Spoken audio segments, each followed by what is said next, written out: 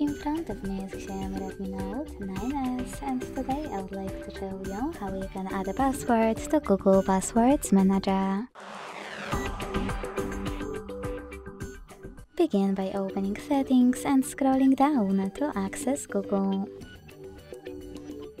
Then tap on all services, select autofill, autofill with Google and Google Password Manager. Now it's time to add a password by tapping on add password here and entering all of those informations. At the top you can type in any website or click on select app to tap on the chosen one. Then enter your username, email or phone number, password and even take some helpful notes. When you finish, hit save at the top right corner. As you can see after that, my password was successfully added.